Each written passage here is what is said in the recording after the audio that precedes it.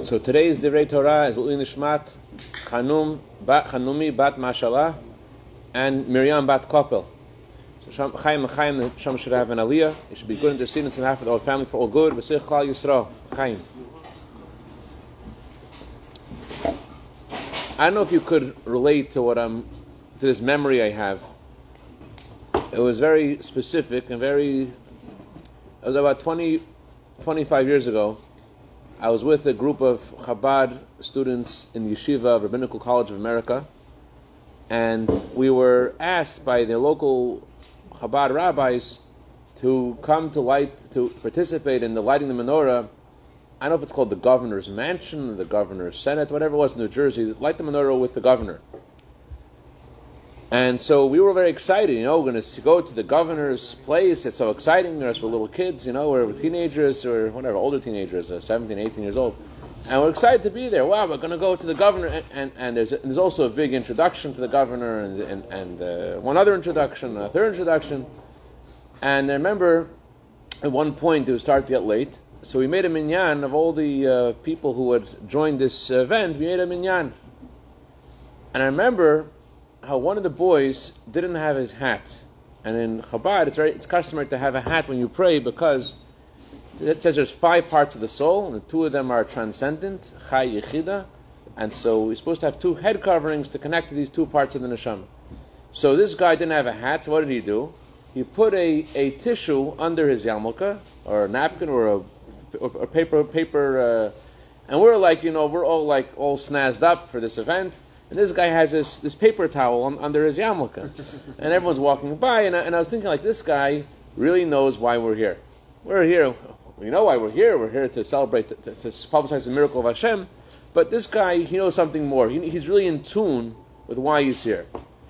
And I want to talk today a little bit about that idea of being present and at home and to know why you are where you are. Elie Wiesel, who was a Nobel uh, Prize winner. He, in he, one of his, I think it was his first audience with the Rebbe. He, uh, when he came to the Rebbe, he came like with an attitude of like arguing and asking very skeptical questions about God and about faith, very critical. And the Rebbe asked him, "Why did you come here?"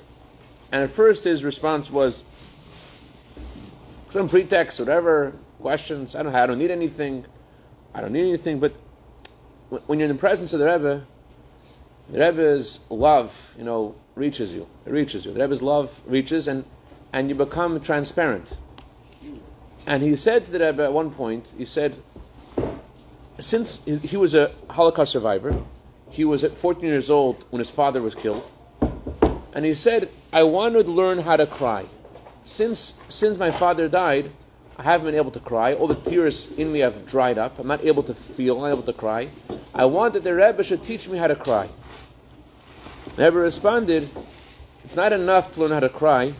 I also want to teach you how to sing. I'm going to teach you how to cry, but beyond learning how to cry, I also want you to teach you how to sing. So let's talk a little bit about, about tears. Tears aren't only always about negative, bitter feelings. Different kind of tears. There's tears of joy.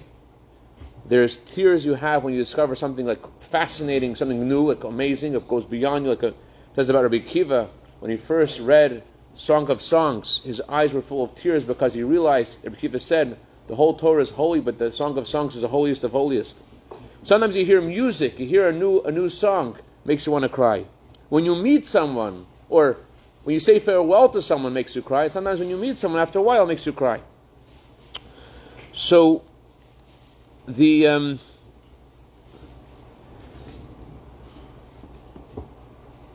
scientists say that animals aren't able to cry. Why can't animals cry? Because crying has to do with there's something deep hidden within you, and you're touching that. You're not able to process it in your mind and your heart. You feel something deeper, and you can't process it. And since there's something deeper in you, you can't process, so cause it's something something above you. Tears are something which are come from something overwhelming to you. So animals don't have a deeper part of themselves like that, and therefore they don't they don't have this. They're not able to cry. So in this week, we read about someone who cries more than anyone else in the Torah. Yosef, the Torah says, cries eight or nine times. And uh, his tears are uh, clearly um, from deep feelings. Now let's explore, explore a little bit today the feelings of Yosef HaTzadik, where they came from, and how they brought him to tears, and what is, has to, why the Torah has to tell us this. Yosef, we all know, he was hated by his brothers not just hated by his brothers, but he, they always argue with him. Like it, the arguments weren't only about like important issues; the arguments were about everything. They always argue with him. It wasn't like a. Sometimes you're you're, you're you argue so much with someone you, you think that argument is a conversation. That's how it was with Yosef and his brothers. always he was he acted lovingly to them, and they hated him, and they acted with hatred towards him. And uh, it was always. And the, the, the, the Talmud says there was the, that was something good about them. Talmud says they were honest people. They couldn't be just in their heart one way and their mind some, and their mouth somewhere else. So if, if they hated, they spoke with hatred. They couldn't be they couldn't be dishonest with their inner feelings. The Tiferet Yonatan says something amazing. He says, They couldn't speak peacefully. If you remember this, if they would speak, they would get along. A lot of times you find family feuds going on for, for, for generations. We know all about this, family feuds and you ask them, what are you arguing about? And they have a hard time remembering. And hmm. sometimes if they would just sit down and talk, they would discover there's no argument. That's really what it, a lot of times a psychologist will tell a family having a family feud, just get together, sit down in a room, and just speak it out. Let's get the whole thing out there. And very often, very little is separating between the two sides. Very little. Anyways, but the brothers of Yosef, their hatred is very strong. And they take Yosef and they throw him in a pit. Then they sell him. They sell him, the Torah says, to Midyanim, who sell him to Egypt. He's like a yo-yo. He's treated like a little, like a, like a, like a yo-yo, going from one place to another place.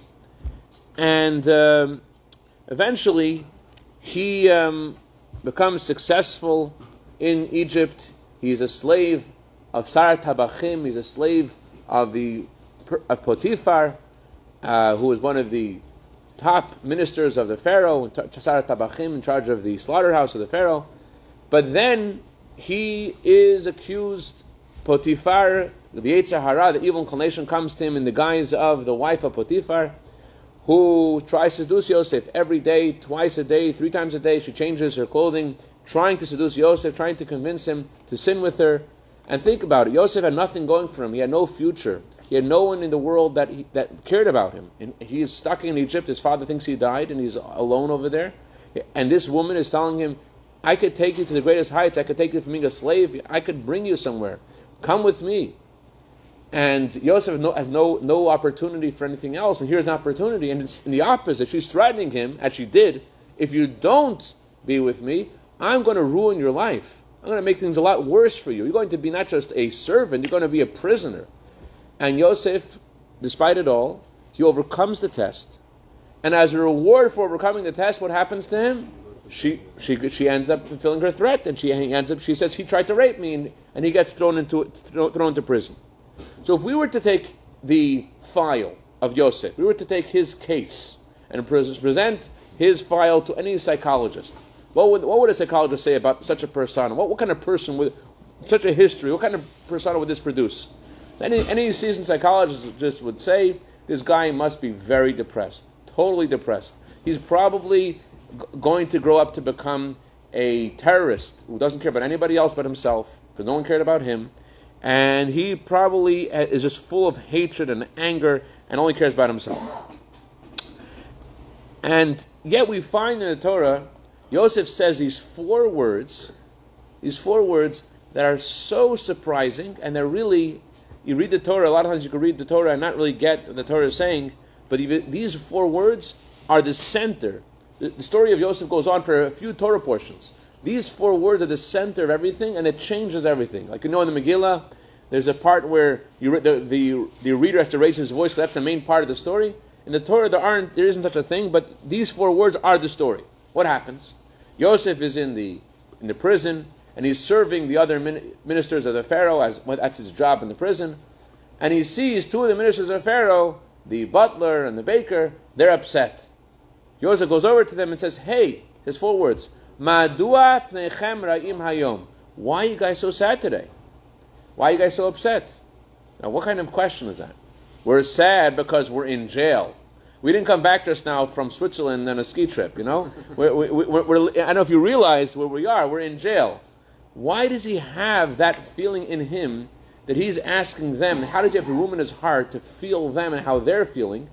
And think about it, these people are, are ministers of the Pharaoh, which probably they, they're anti Semites, and probably they have something to do with, with Yosef's plight also. And what's going on? They, they, they, this is the first day that they look sad. I mean, what, what, what's going on behind, behind all, all, all, of this? Yosef should have been angry at them. He should have been upset at everybody. And yet he has in him, why are you guys so sad? Where does it come from? So, the greatness of Yosef is despite whatever happened to him, he had something in him that is really in all of us that the Torah wants us to, to be aware of. There are 10 soul powers. We discussed a few of them in other classes.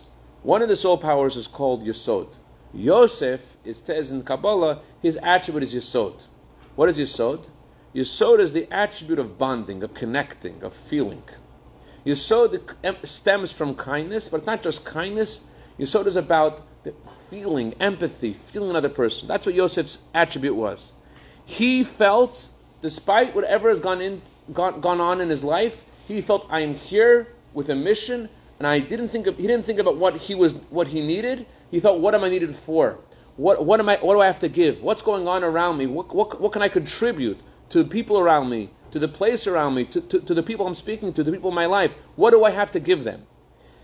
Th- this is a incredible thing. When we have a challenge, the different ways you can react to a challenge. Some people react to a challenge and they break. Some people react to a challenge, they look for a solution. Yosef and rare people, they see not a challenge, they see an opportunity. Yosef saw in the, all the things that are happening to him an opportunity. I have now a chance to do something far beyond whatever I've done before. They, they have um, in Japan, they're very into their tea and their teacups. They have a whole you know ceremony with tea. There was one uh, Japanese emperor who is his teacup broke, and uh, so he, he, said, "Put it back together." So they glued it back together, and it wasn't, of course, the same thing.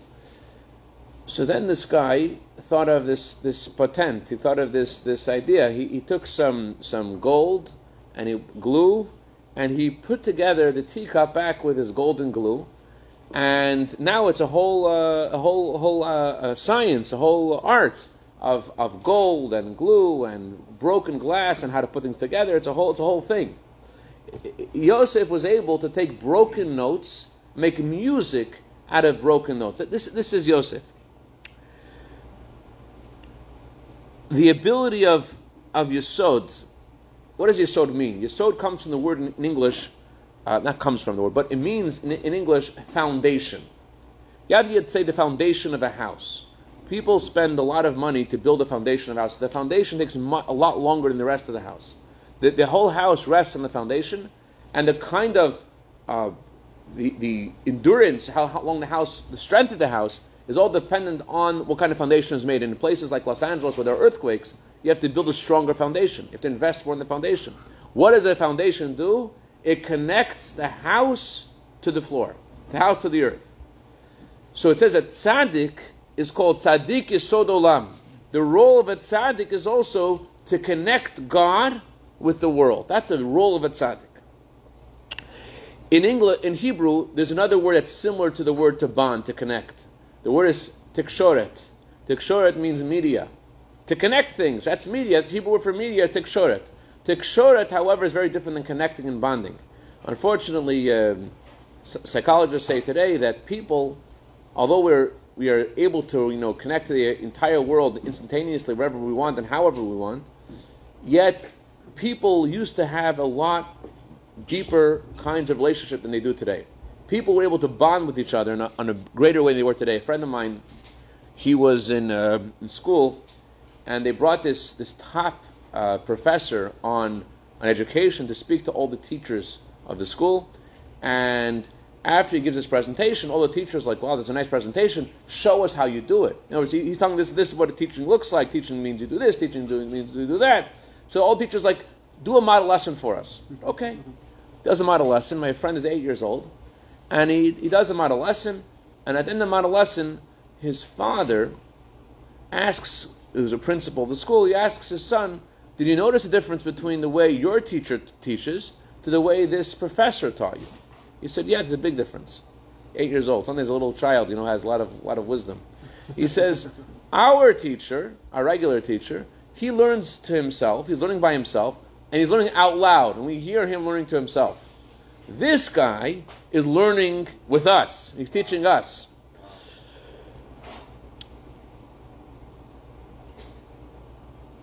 There's it's possible to teach and to share, but not to be like engaged. This guy in Israel, in the early years in Israel, they were very careful about people bringing in things into Israel that you know that, that are taxable.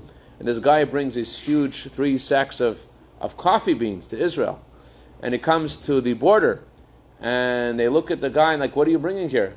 He says, uh, this is this is uh, bird fodder. This is just to, to feed the birds. So they open it up, and they see it's coffee beans. He says, this is not bird fodder. This is this is coffee beans. He says, listen, I brought this for the birds. If they'll want it, they'll eat it. They don't want it, they won't eat it. I brought, some teachers teach like that. They, they don't connect with the with the um, with the audience. They say if you're a hammer, everybody's a nail. Some people just do things things the way they do it. Doesn't matter what everyone else around them is going on in their life. They're a hammer. If you're a hammer, everybody's a nail. I do things the way I do it. I was once there was a very very great uh, teacher in town He's so negative. I asked him, why are you so negative? You're so hard on your students. He, what he said. He said, I call them as I see them. Unfortunately, that's, that's true. He's an honest person. That's a, that's a value. But the problem is, you're not, you're not there for yourself. You're there for your students. You're, you're not there to, to just portray how you feel. You're there to help them. That's what the attribute of Yosef was, Yesod, the ability to connect, to feel. And that's why he was able to survive his, his, his challenges. He was thrown into Egypt, he's thrown into this depraved culture, and yet he remained with the image of God in him. Why? Because able to c- c- maintain his connection to Hashem. Whatever's going on, he still felt the connection, the bonding. He didn't lose the bond. And therefore, when he sees these guys in the prison and they're sad, you know what Yosef feels? How does Yosef feel? Let's enter his, his feelings. What does he feel? He sees them with a sad face. Says, How can you be sad? What's wrong? he feels them. He, first of all, he sensed it. At that moment, when he sensed them, he left himself. He left his own feelings. He left his feelings of anger and hatred. Who knows what kind of other feelings that may have been in Yosef. But he asking that question is he stepped out of himself. The Talmud says if you give someone tzedakah with a smile, you get 11 blessings. Why 11 blessings? 11 in Kabbalah is connected to the infinite.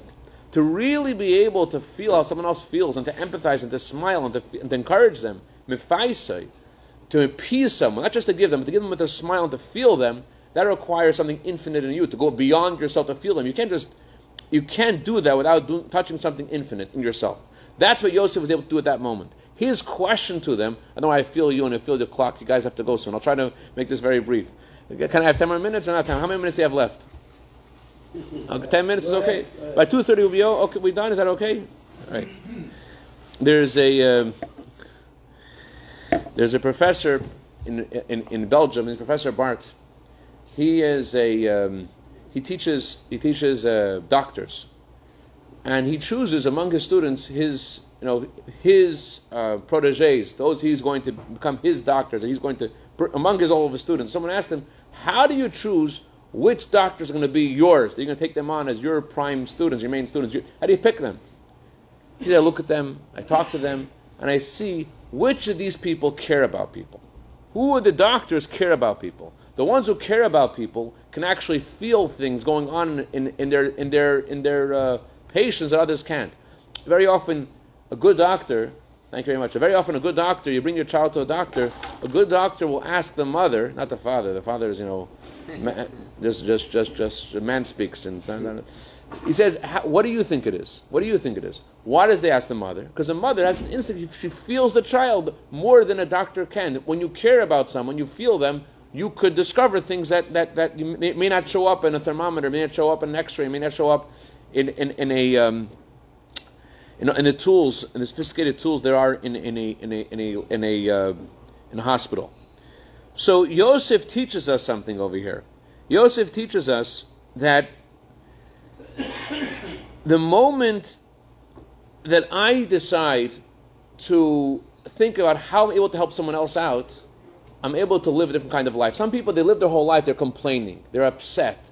When they see someone happy, they're like, what are you on? What kind of drugs are you taking? You must be living in some kind of illusion. No, what's wrong with you? There are people like that. You see someone smiling. What's wrong with you? Why are you smiling? The people who get so used to negativity. But what changes? What makes a person happy? Believe it or not, makes a person happy is our ability to realize that we're an ambassador of Hashem. We're ambassador of God to share God's light and God's kindness to other people. That's what makes a people. That's a source of, of simcha. That's what the pasuk so the moment Yosef says, "How are you?" and he feels them, he's leaving Egypt. He's leaving. Oh, he's leaving where he was before. He's going to a different place. Let's talk about ourselves personally. There's a pasuk. There's a pasuk. Elakim asat yashar. God made a person to be yashar, to be good, to be wonderful, to be the way he's supposed to be. But a person can choose to make lots of skewed calculations about life. We're all born as babies with an neshama, with a soul, with, with goodness inside of us. We can't get rid of that goodness inside of us. No matter what we do, that goodness, as we in the story of Hanukkah, the pure jar of oil, the pure crystal of oil, is in us. We can't get rid of it. We can we could pretend that we don't have it. We could think for all kinds of reasons why it's not there, but it's that good in us is waiting for us. Just press the button and to bring it out of us. God creates a person. God creates the whole world every moment. God creates me and each one of us with the goodness in us every moment. And we have the ability at any moment to press the button and to discover and to connect with that goodness. We have a choice. We have to ask ourselves, what am I focused on? Which which um, uh, space on the check on, on, the on the chessboard am I in? Am I focusing on the cheshbonot rabim on the on the skewed calculations about life? Or am I in the, in the good? Am I in my neshama? Am I, am I focusing on the shell, the peel, the covering of my soul, what covers the goodness in me? Or am I, am I focused on the goodness inside myself? The moment you believe about yourself that there's something good in you, that you have some goodness in you, already that moment you open up a little bit. Open, the moment you believe in that, that I, I, I unfortunately uh, didn't have the pleasure of knowing your mother, but that's something that a mother gives a child the belief and the love a mother has in a child makes the child believe realize by themselves what is, what is going on. There's something good in them. That they have something. That, that, that there's something inside of them. And this is the first step to tikkun. The first step to, to being the way you need to be in life is by believing that there's something there waiting to come out. You have tov, you have goodness, and it's there and it's part of you. Psychologists can give all kinds of sophisticated names to our problems. They can call us narcissists. They can call us depressed. They can call us all kinds of issues, and they may be right. But that's not really what the what we can't. They may be right, but we can't escape the goodness. We can't escape the goodness in us as well. That's there too. You can't lose that. These four words of Yosef, they're four words, but they express such greatness, and they changed whatever was happening in his life because he asked that question. What happened next? He asked them, "Why are you guys sad?" They told him their dreams. He interpret, he was able to interpret their dreams. They told the Pharaoh about Yosef's ability to interpret dreams. And because of that, Yosef becomes the king, or second in command to the king of Egypt. Because of that, he's able to see his father. Because of that, he's able to feed the whole world. Because of that, we're here today. So Yosef, those four words changed everything. What brought him to ask those four words? That he had Yesod. He felt those people, what do they need? And he looked at himself as an ambassador of Hashem. I'm here for a reason. Every person, like Yosef, has times in their life when they're thrown into a pit of snakes and scorpions. You've been there? You work in downtown. You must know what I'm talking about. So, so we have to realize, we have to realize we're always able to escape the pit. We can get out of the pit. We're able to get in touch with the goodness inside of us. We don't have to stay, stay stuck in the pit. What does that mean practically? Talk practically. Practically, this means every day to stop for a few minutes. This will make you a lot happier, a lot happier. Stop for a few minutes and think and decide I'm going to think about other people in my life. It may not be someone who is far away from you. It may be your spouse. It may be your children. It may be people. And, and when you speak to your spouse, you speak to your children to speak open hearted. Just try to feel how they feel. Try to think how they think. To, to, to be open hearted to feel them. They did this study in, uh, in uh, Buffalo University about people experiencing different kinds of trauma.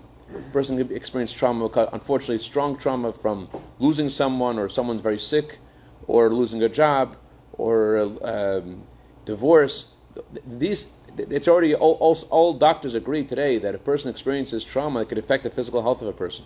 But they discovered that people who spend their time helping other people, the, the trauma has a, a, a lot less effect on their physical health. They're a lot happier. Not, there's another another professor named Paul Eineck who who he discovered that um, that he did a study about 50 uh, students in, um, in, in, in high school, and he discovered that those students that spent their time in a period of decades helping people, they were not just a lot happier, they're a lot healthier.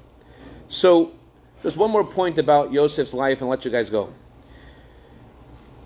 Yosef, he meets his brothers, he tells them they're spies, and they say to themselves, uh oh, I know why this is happening to us. It's happening to us because we sold our brother. Our brother looked at us and he begged us and we ignored his pain. What does Yosef do when he, when he knows Hebrew? They don't know he knows Hebrew. He hears them talking amongst themselves and they're crying and they're upset. What does he do? He cries. Why is he crying? You know why he's crying? He can have all kinds of feelings. He can feel, ah, I won. I won. I put them down. I, th- I, think Charles Dickens he did a story based upon the Torah, a whole different kind of feeling of, of the Yosef that he that he put in that story. Yosef cries. Why does he cry, Lahavdil? He cries because he feels bad for them that they're upset. The end of the, the book of Breshit, they come to Yosef. They say, "I want to." After Jacob has passed away, they come before Yosef. They say, "I want to tell you something, Yosef. Our father, before he died, he said something to us. He said a, a last will and testament. Please ask Yosef to forgive you." It was a lie. It wasn't true. It wasn't true. And Joseph knew it wasn't true. What does he do when he hears them say this lie? You know what he does? He starts to cry. Why does he cry? He's thinking, why are they making up this story? Because they think, although I told them I'm ambassador of God, it wasn't your, it, you have nothing to do with my being in Egypt. God sent me here. That's how Joseph felt. That's the truth. That's how Joseph actually felt. But he felt bad for them because they didn't believe that. They felt he didn't really forgive them. So Joseph says to his brothers, Come closer to me. They want to run away. They, they, they feel so like he can't possibly care about us, knowing what we did to him. But Yosef says, No, come closer. Yosef cries for them. He feels bad for them. What does that have to do with us? I'll tell you one last story. It's 227. I'll Let you guys go. Elie Wiesel, uh, I mentioned before, he was once interviewed by Rabbi Gershon Jacobson, who was the editor of the of the Algemeiner Journal, the Yiddish newspaper, and his son, Yossi Jacobson, was a famous world renowned speaker. Um, he was in the kitchen hearing the interview. His father asked Elie Wiesel, What was your most embarrassing moment in your life? Embarrassing moment. Embarrassing moment. Not, not the most painful moment, the most embarrassing moment. He said, In Auschwitz, the Nazis gave us to eat every day this bread. It wasn't really bread, it was something black they called bread. They gave us soup. It wasn't soup either. It was something black they called soup.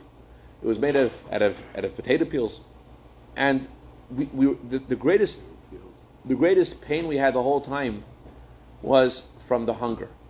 The beatings didn't bother us as much as hunger was constant, constant hunger, constant pain. And one day, and, and sometimes the Nazis wouldn't even give us bowls; we had to take it from with our hands, and the, someone would spill out, and would laugh. One day I finished my bread, thing called bread. I finished this thing called soup, and I'm starving. I'm starving. And at that moment, I wished my father would die. I wished my father would die so I could have his bread and his soup. I wished he would die. He says, that was most my most embarrassing moment. That's an embarrassing moment. So this is the meaning of the Torah says, the Egyptians acted poorly to us. It also means they made us act bad. A person goes through a situation that situation can make a person to be low, to be insensitive, to be to not to not be aware of what's really going on. So the Torah tells us the story of Yosef. The Torah wants us to know something. The Torah wants us to know that no matter, what, no matter what's going on, no matter what you've done a moment before, you have good in you to believe it and know it for sure, and you have the ability to connect with. Last word, 229, 27 seconds. The Rebbe Rashab said, just like it's a mitzvah, we all put on film here today. We all put on tefillin today, Baruch Hashem. Just like it's a mitzvah to put on tefillin, it's a mitzvah to spend time every day to think about Ahavat Yisrael, how to help other people in your life. It's a mitzvah every day. to Spend 15 minutes to think about how to help other people in your life. This is the key to happiness, the key to connecting to who you are as a person, to what you're meant to be here to doing, and the key to, the, to see the bracha from Hashem for all good. L'chaim, l'chaim. Gemara Hashem Hashem Aliyah. Grandma Hashem Hashem Aliyah. Hashem give us all shefa bracha hatzlacha. It's how do we say in Farsi? Ima mahe mojazas. This is a month of miracles. It should, it be a month of miracles for all of us, for all good. L'chaim, l'chaim, bracha. Thank you, Rabbi.